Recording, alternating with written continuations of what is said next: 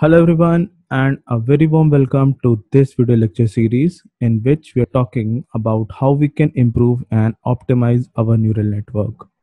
So until in the previous video lecture, we have seen that given a data set, then how we can split this data set into the training set, the development set or what is often called as the cross validation set.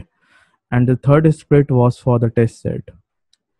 The basic function of dividing a data set into three parts was the training set data uh, the training data set was used to train the algorithm. The development set or the cross validation set was basically used to compare the algorithms that were being trained on the training data set. And the third split that is the test data set was basically used to check that whether the model that has won according to its performance in the cross-validation set is having a biased performance or an unbiased performance. So the test set performance gave us a proof that the algorithm was performing in an unbiased manner. Now, what is this biasness and unbiasedness? So with this term biasness comes another term called as the variance also. And many people who are working in the field of machine learning and data science often have a confusion regarding these two words, the bias and the variance.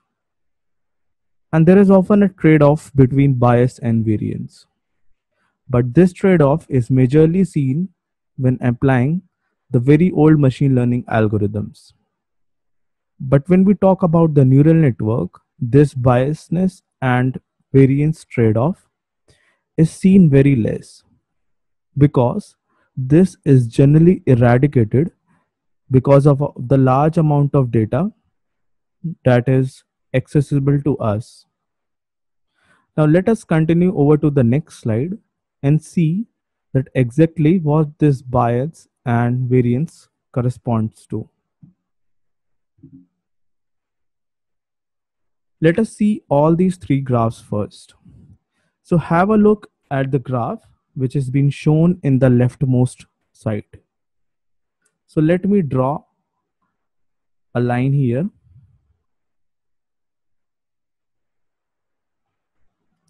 So basically in all the three graphs, you're being told that you need to classify the data. Okay. So if you look at this first graph, then there are two kinds of examples here. The first one is represented by the circles and the second one is represented by the crosses. And you are being told that apply a machine learning algorithm in such a manner that this machine learning algorithm would classify the crosses and the circles. So when you draw this classification line in this way, so using this model, you got a straight line. And you can see that this straight line could not classify these two examples in a very effective manner. So this is generally treated as an example for having high biasness because this model is very much ineffective in the training data set only. And so this could not even perform better in the cross validation sets as well as the test data set also. Now let us look at to the example that is given to us in the right. So this example basically represents the high variance. Now if I've been told to deploy a model in this, and suppose that I get this type of a classification line that goes like this.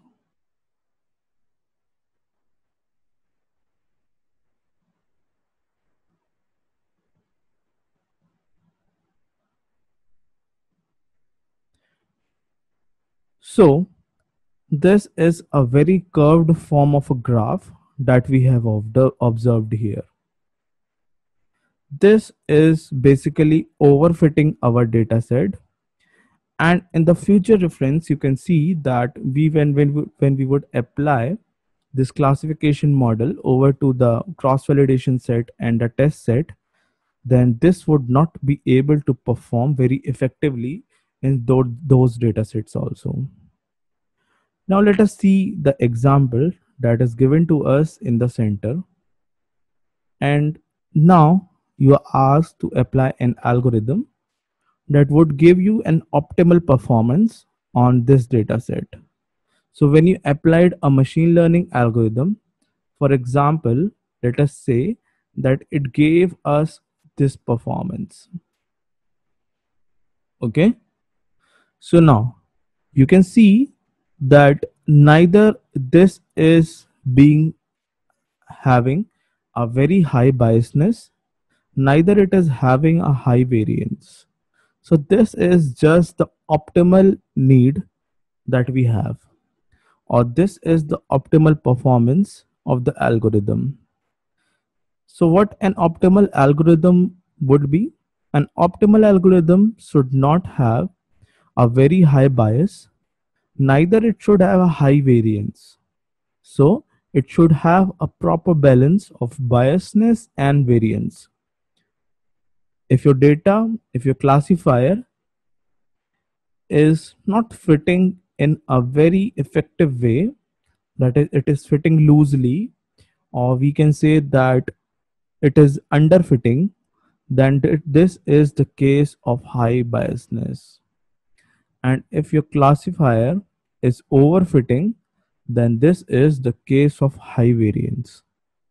Now let us move to the next slide and see some matrices that would depict us that what exactly are the error rates that need to be considered for taking examples as high bias and high variance. So let us move to the next slide. Now let us take this example of a cat image classification. So we have two images. The first image is the image of a cat and the second one is the image of a dog so if the image there is an image of a cat then the classifier would classify it as one and if it is a non-cat image then the classifier would classify as zero so basically this is a problem of binary classification that is given to us and now we need to classify this image as whether a cat image or a non-cat image now, if you give humans this task, then humans can perform this task generally with 0% of error. And this type, this type of error is basically known as the optimal error or the Bayes error. So, if you are giving an algorithm or a classifier that needs to classify binary that classify whether this image is a cat image or a non-cat image, then following are the outputs that we get. Now here are the four columns that I am drawing. So using the matrices, we can see that what are all the four cases of biasness and variance that we can observe for this classification model. So suppose that I apply a classification model over to this problem and now I obtain the training set error as 1%. And then I obtain the development set error as 11%. So we can see that this model fits in a very good manner to the training set, but unfortunately, this model does not performs in a very good manner to the development set. Now, this, although 11% of error is not a very large error, but this 11% is comparatively very large when you compare this error with the training set error. So what you are basically doing is firstly, we are getting the training set error and then we are getting the development set error. And now our task is to compare that error that we have got in the development set with the error that we have got in the training set. So this 11% is very large error as compared to the training set error. So this would imply that our model is overfitting in the training set. And therefore we have a high variance in this problem. So we have a problem of high variance in this case. Now let us move to another example where we have again tried to apply a different algorithm or we have tuned some of our hyperparameters and then following are the error rates for the training set and the development set. So the training set error that we have got now is approximately 15%.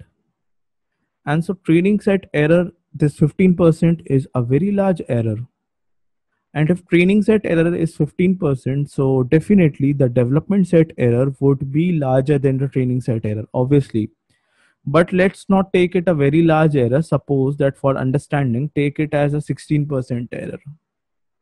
So what I need to basically make you understand here is that we have got the training set error as 15%, which is very large and we have got the development set error as 16%, which is again very large.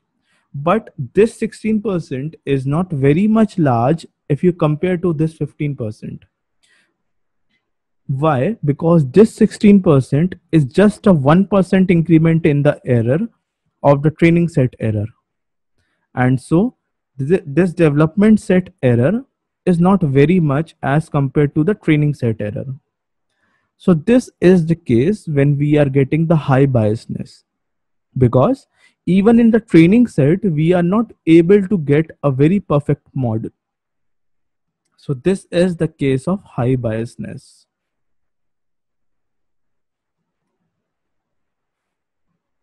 Now let us take a third case here. Suppose I have applied a third algorithm or tuned some of the hyperparameters again now and now I am getting an error of again 15% in the training set. But now what has happened that the development set error that I'm getting now is 30%. Now again, in this case also, suppose that if you hide this 30% and if you only look at the 15% error in the training set, so this 15% training set error is quite a very large error. So definitely this would be a case of a high biasness. And now you see the 30% error. Now this 30% error, that means there has again been an increment of 15% to the training set error when you applied this algorithm to the development set. And again, this 30% is now a very huge error as compared to the 15% error. So this is a case of both high bias. Also, this is suffering from high variance. So this third case has both high bias and high variance. Now let us look at the fourth case. Again, we are applying some other algorithm or we are tuning the hyperparameters now again. So the training set error that we are getting now is 0.5% and the development set error is now 1% only. So now in this case, we can see that this training set error of 0.5% is a very, very less error and this development set error is overall a very less error. And also in comparison to the training set error is all this is a very much very very very less increment in the error. So this is the optimal case that i was talking about and this was the center graph that was depicted in the previous slide. So this is a case of low bias and low variance.